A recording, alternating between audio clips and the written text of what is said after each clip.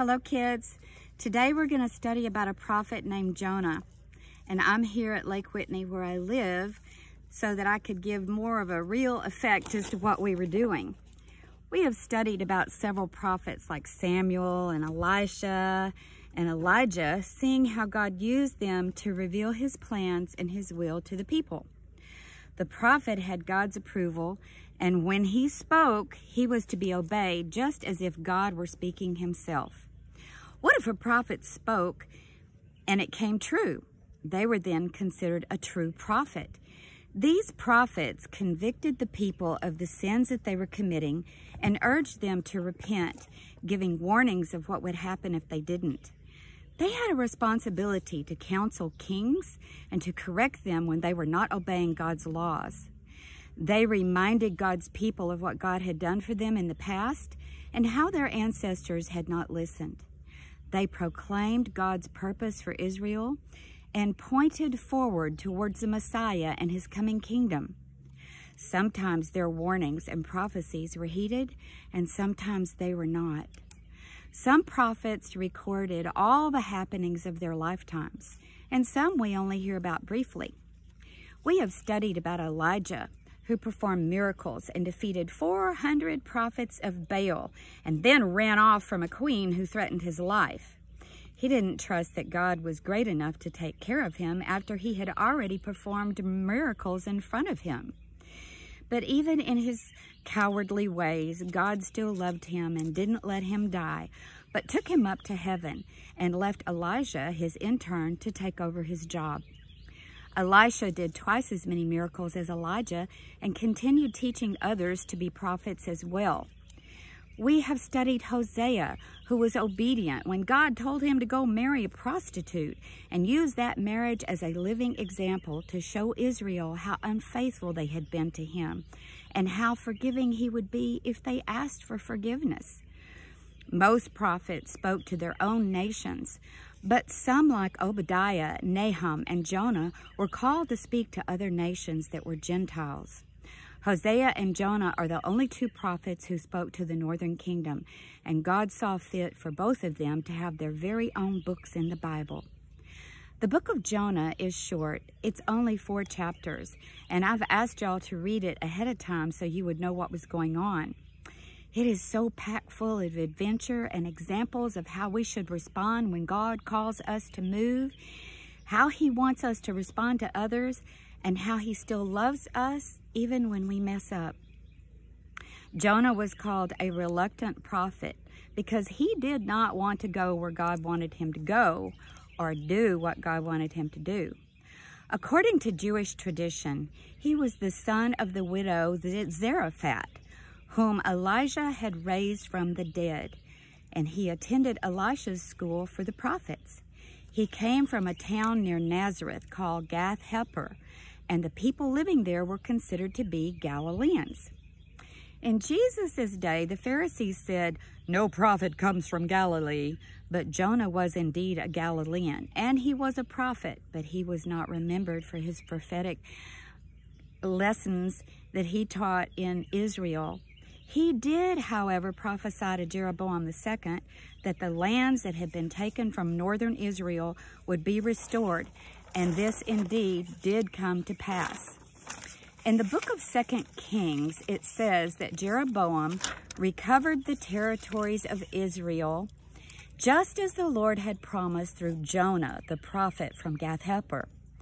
During Jeroboam II's reign, the northern kingdom had a physical sense of peace and prosperity, but spiritually they were not doing very well because Jeroboam II and the people were still worshiping idols. God had sent his prophets to warn them to repent and stop worshiping idols, but they would not listen. God used Jonah to try a different approach to get the northern kingdom's attention.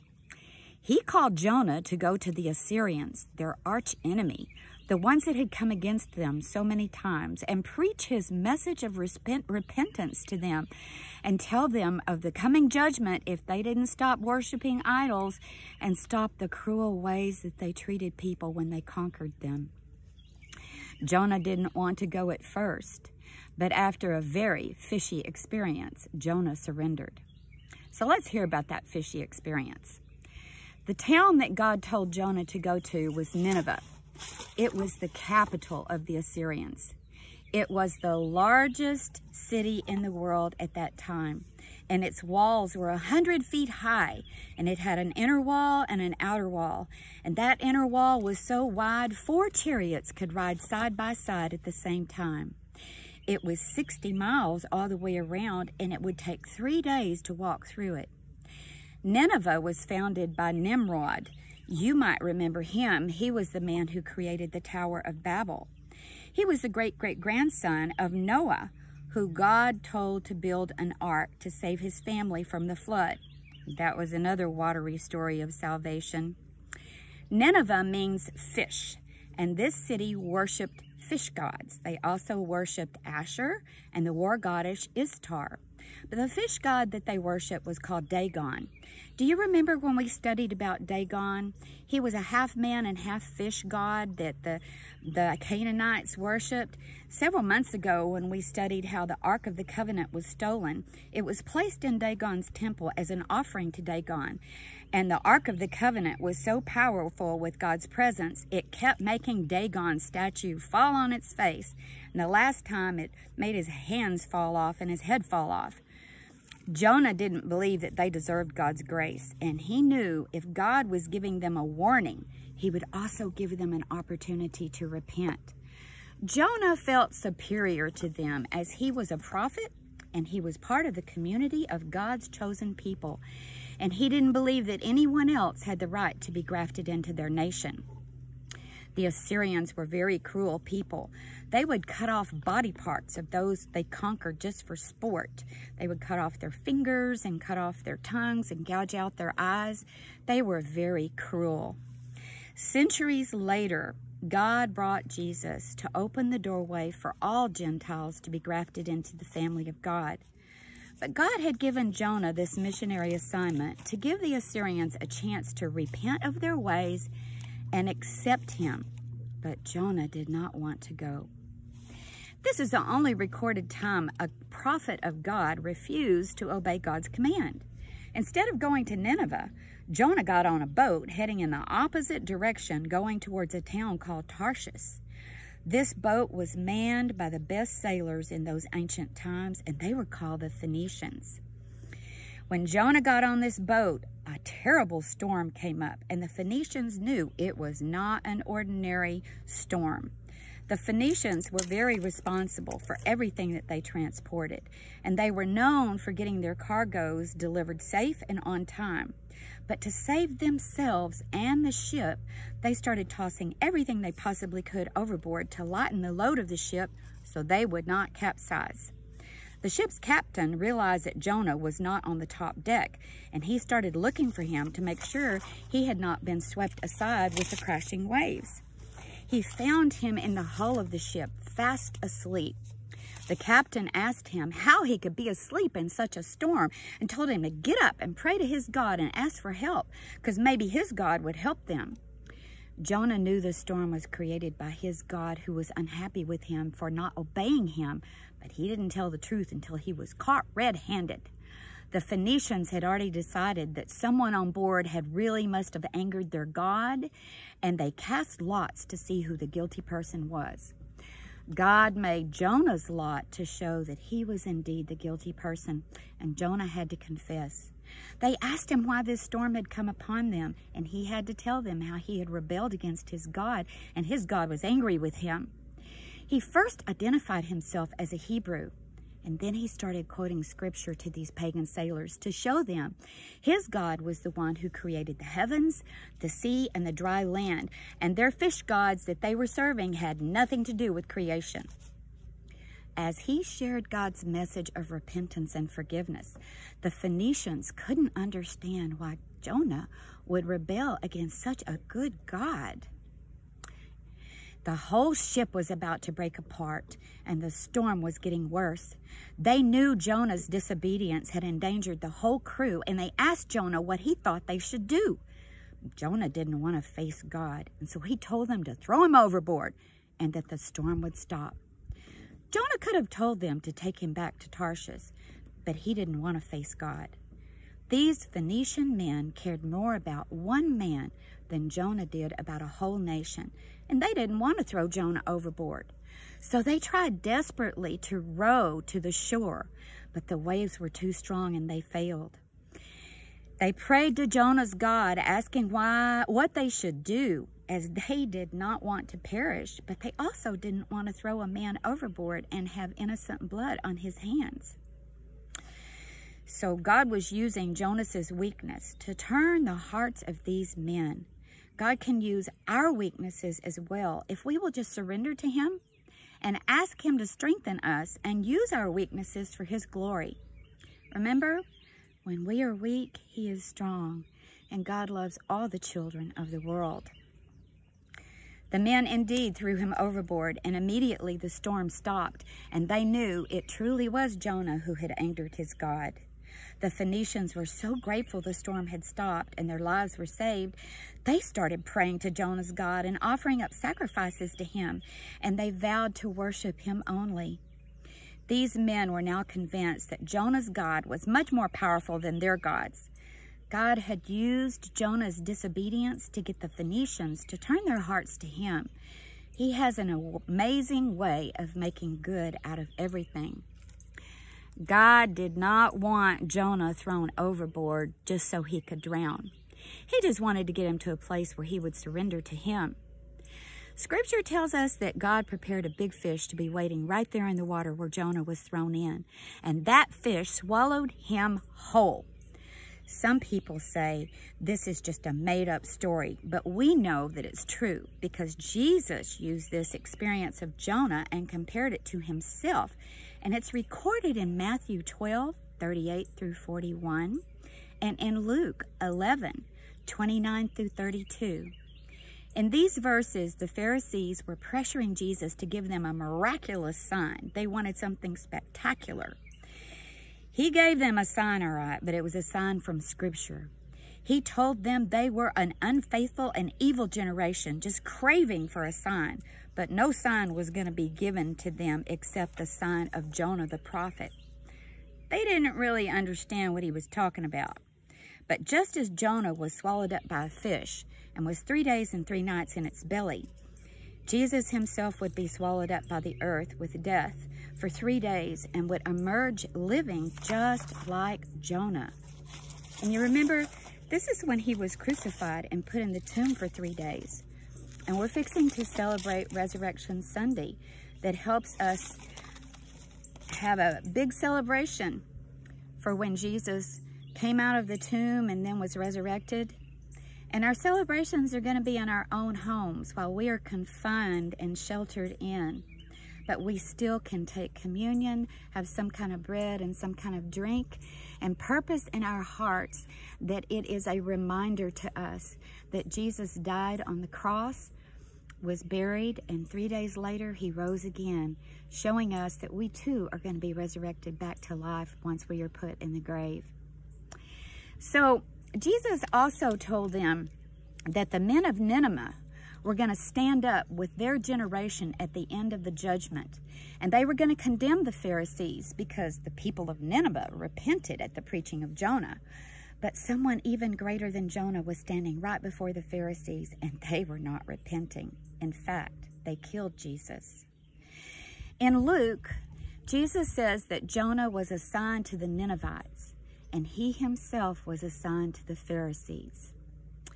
Jesus would not have cited a story like this to compare it with his glorious resurrection or prophesy how the people of Nineveh would shame the Pharisees if it wasn't true. So we know it actually happened, despite so many times people have tried to prove that it didn't.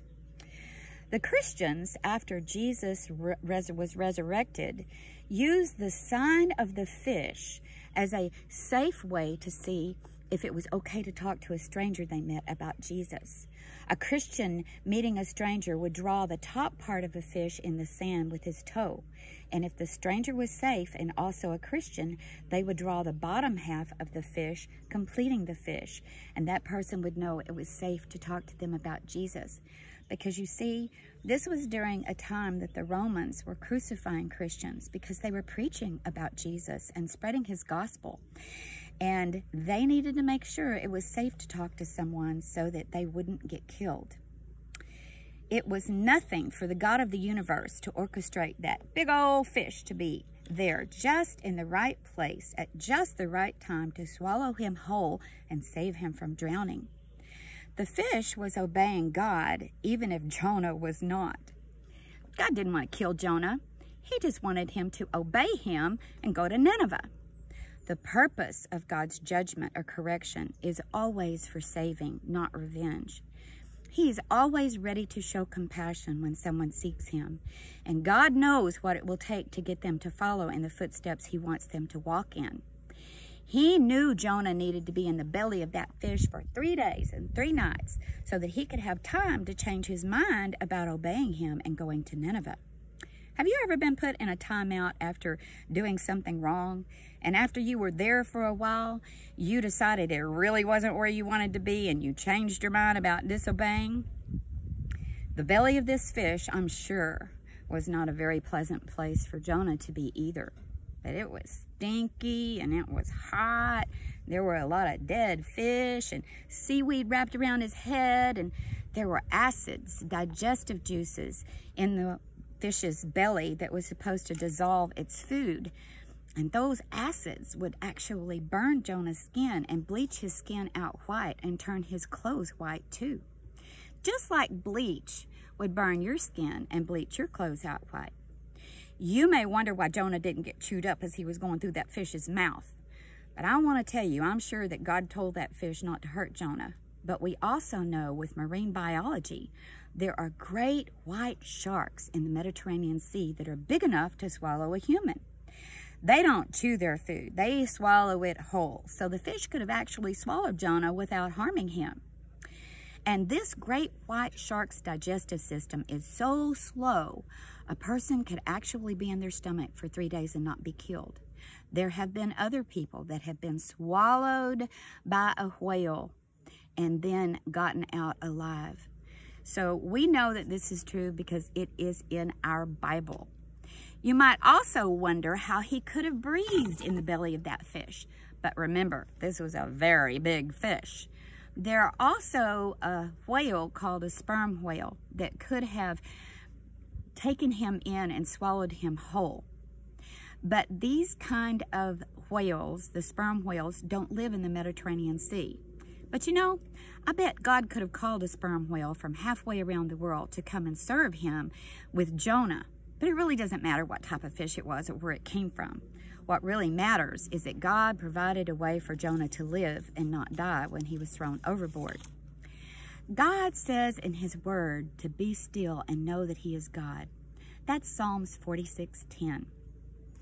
Jonah knew scripture because he was a prophet of God and he had studied in Elisha's prophet school. And he prayed in the belly of that fish and he quoted 18 different scriptures from the book of Psalms. He started his prayer saying that when he called out in distress, the Lord answered him. He said he cried out from the depths of Sheol, which is another name for hell. And he says again, the Lord heard his voice. He said that the Lord had him thrown into the deep heart of the sea with the waves swallowing him because of his disobedience. Yet, he still asked the Lord for help.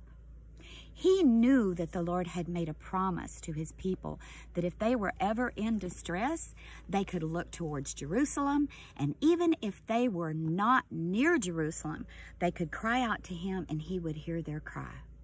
God had heard his cry, even though he didn't know which way Jerusalem was, because he was in the belly of that whale. He had no point of reference of land or sun or moon to gauge the east from the west or the north from the south. But in his heart, he purposed to be praying towards Jerusalem as God had told them to do.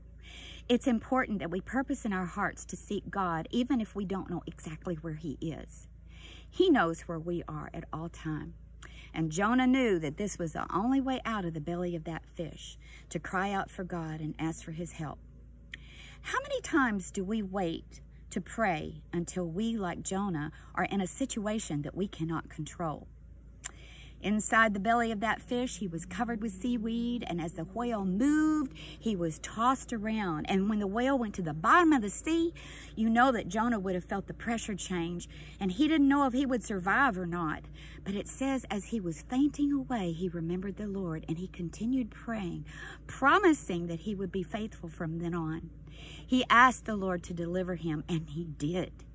Sometimes people make promises to God when they are in stressful situations, but then they go back on their promises when they're no longer needing God and are no longer in a distressful situation. This is not good. When we promise God something, we need to follow through. Jonah did follow through with his promises of going to Nineveh. And it says that he offered up praises and sacrifices to God when all of it was over. After the third day, God commanded the fish to vomit Jonah up on the shores of Joppa. God was giving Jonah a second chance to serve him and go to Nineveh. The whale have had to have bleached, had to beach itself on the shore to be able to vomit Jonah up on dry land. Scripture tells us that he was vomited up on dry land. Whales, Sharks, whatever the fish is, they don't normally beach themselves. But God ordered this fish to beach itself and use that beaching to accomplish his will and get Jonah safely put out on the shore. It is very important to God for us to obey him. And it is very important to God for Jonah to go to Nineveh so that he could preach to that city and give them an opportunity to repent and be forgiven. Can you imagine being a fisherman on a shoreline just like this right here, fishing? Or maybe out in a boat. I hear a boat coming right now. And you see a fish that beaches itself and vomits up a live human being on the sand. What would you think was going on? Why would a human being be in a fish's belly, much less be vomited up and then wriggling around in a big blob of vomit trying to stand up after it had just been vomited up by a huge fish, who now, by this time, was probably wiggling around to get back in the sea. You would run and tell everyone you knew what had happened. And then that person would run and tell everyone they knew. And it wouldn't be long before all this news would reach Nineveh.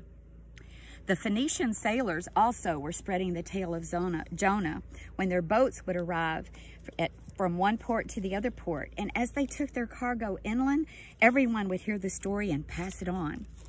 I'm sure everyone was looking for a man that had his skin and his clothes bleached white named Jonah, who had been thrown off a Phoenician ship because he had disobeyed his God, caused a horrible storm, and then had been thrown overboard, but he didn't drown because he was swallowed up by a great big fish. They would know that his God told him to, to go to Nineveh with a message that in 40 days they would be destroyed if they didn't repent of their sins of idolatry and their desire to cruelly conquer and torture other nations. This would be a story people would hear about and it would open up people's hearts and minds and give them ears to be able to hear God if they would just ask him for help. God was using this story of Jonah to reach a lot of people, not just Nineveh. He's using it to reach us in our hearts right now. Jonah was going to Nineveh, but he still hadn't changed his mind about Nineveh not deserving God's mercy. God had stopped Nineveh from its horrible raiding parties by sending a plague, and then there was an eclipse of the sun that they didn't understand, and then another plague. Just like we are going through the coronavirus thing right now, we don't understand. We're all looking for an answer. So were these people from Nineveh. And they decided that the gods were unhappy with them and were causing these events to happen. And it had shook Nineveh to the core. And then the story of Jonah came about the boat and the fish. And it further opened the door of their hearts to the message that Jonah would bring about how they could be saved by his God. Jonah's walk to Nineveh from Joppa was long but it wasn't as hard as the walk through Nineveh because he was going to have to proclaim the judgment of God for three whole days. Remember, that's how long it took to walk across Nineveh. And you know, He proclaimed that God would destroy Nineveh in 40 days, but he didn't tell them that God would forgive them if they repented. So he didn't tell the whole story. How many times have your parents told you to go tell your brother or your sister something and you only told them part of it because you knew the rest of it might get them into trouble and you wanted to see them get into trouble? But to Jonah's astonishment, the people started repenting immediately when he was walking through, including their king of Nineveh. And he ordered the whole nation to fast and put on itchy sackcloth and search their hearts and turn from their evil, idolatrous ways in the hopes that maybe the God of Jonah would turn away his wrath, forgive them, and not destroy them. Because remember, Jonah wasn't telling them that he would forgive them if they repented. But this was in their hearts. They wanted to live. This king also made even the animals wear this itchy sackcloth to make sure all the sins were covered. But the people from um, Nineveh a lot of times use their animals in their ritual practices to their gods. So that was normal for them. God saw what they were doing and he forgave them and did not destroy them. We don't know how long this whole process took. We know it was three days that he went through Nineveh. But with this changed heart attitude, Assyria did not attack Israel again for many years. And that's how King Jeroboam II had years of peace, because the Assyrians weren't attacking him, just like Jonah had prophesied before. But Jeroboam II and all the people there never did repent of their idolatry.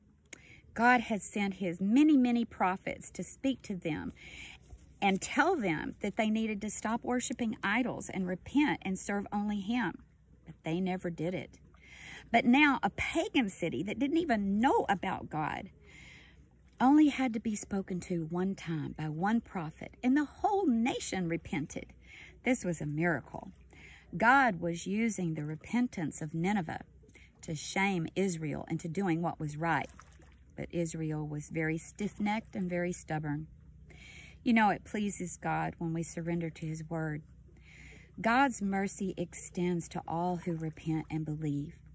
We should ask God every day to show us if there's anything in our lives that we're doing wrong and give us the strength to stop, repent, and receive his forgiveness so that we can step back into his blessings.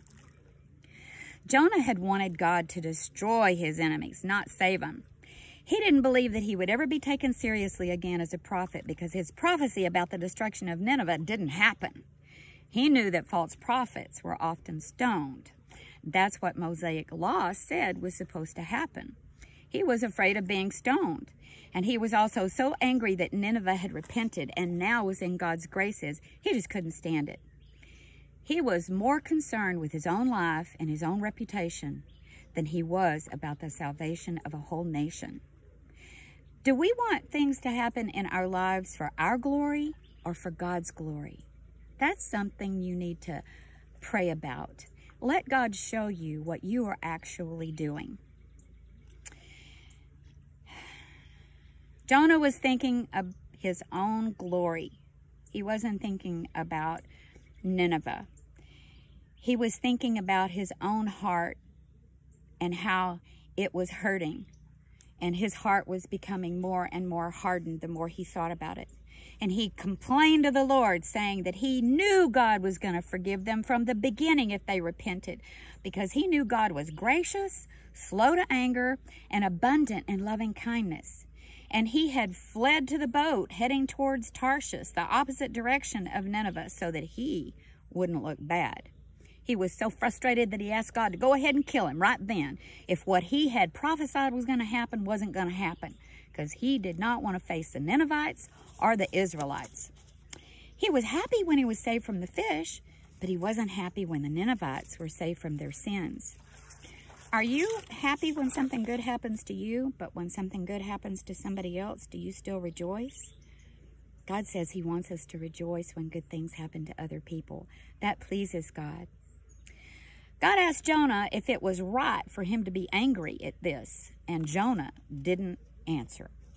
How many times has your parents asked you, you think you did right, and you just sat there and didn't say nothing? It was because in your heart you really thought that you did have a right, but you know that the real answer was no.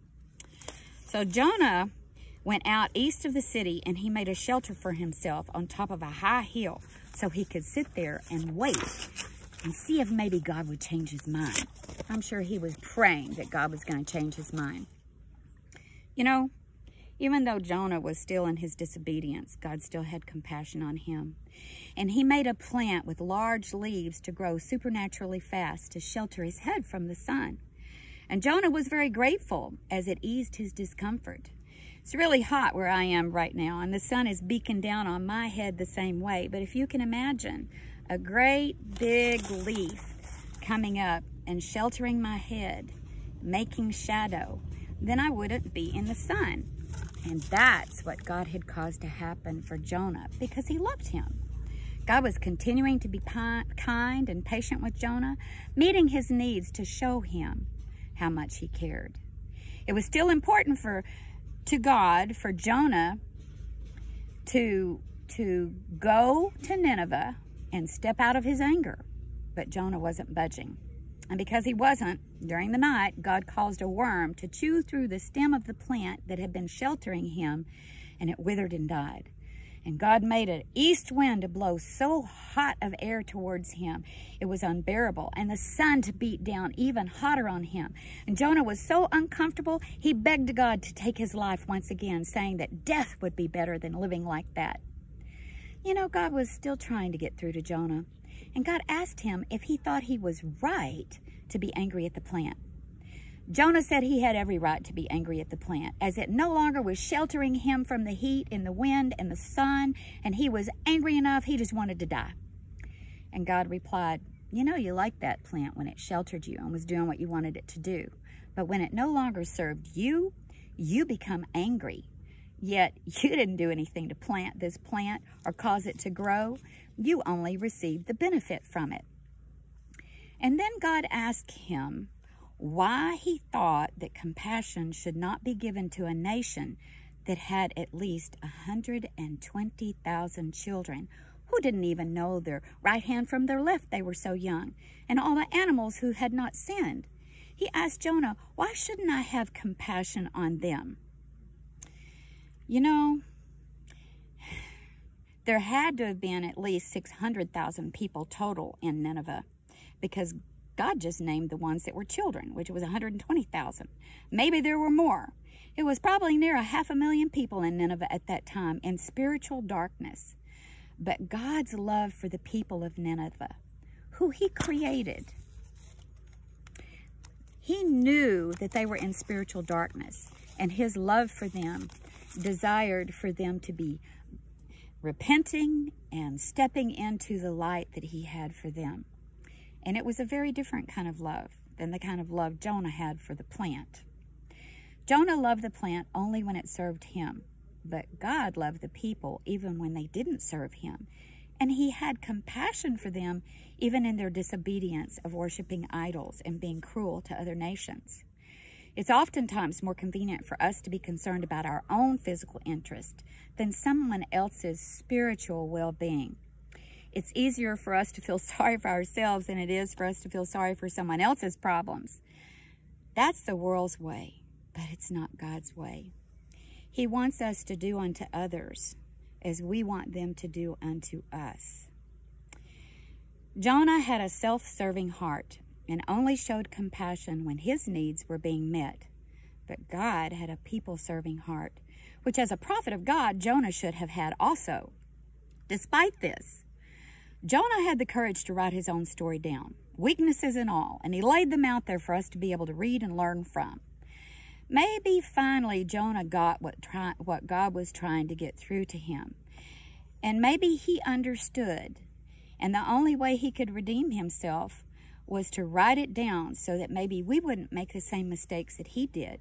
So he confessed his sin of being angry and rebellious in a way that was sharing it with us to show us how God still answered his prayer. God also answered the Phoenicians' prayers and the people of Nineveh's prayers, and he will answer our prayers as well if we call out to him. He hears those that call upon his name if they repent and respond in obedience to him. We might think our in-home shelter is too uncomfortable for us right now.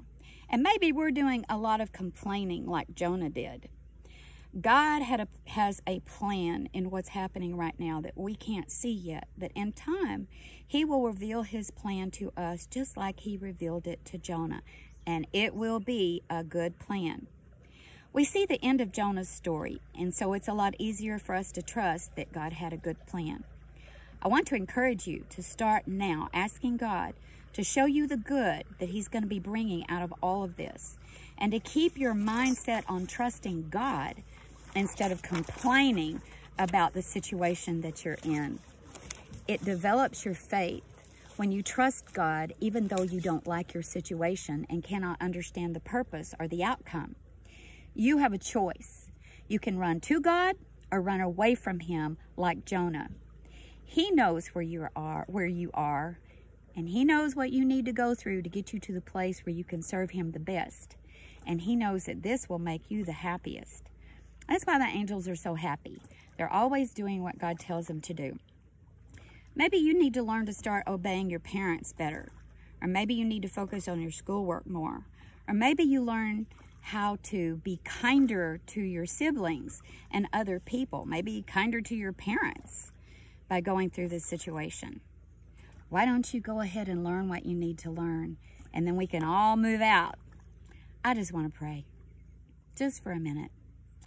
Father, I thank you so much that you have brought such a beautiful day here at the lake that I can share this story of Jonah with the children. I thank you for the story of Jonah. I thank you how Jesus used Jonah's story to prove that it was true.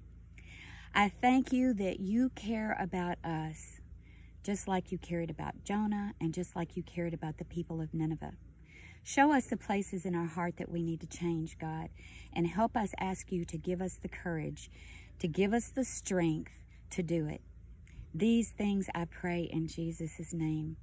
And I say thank you, Father, for sending Jesus Thank you that you raised him up for the dead, and thank you that you're going to do the same for us. In Jesus' name, amen.